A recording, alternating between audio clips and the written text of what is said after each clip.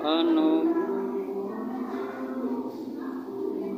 matanggal ang kasi type sprocket? Mga kapadyak pato na yung mga tanggalon.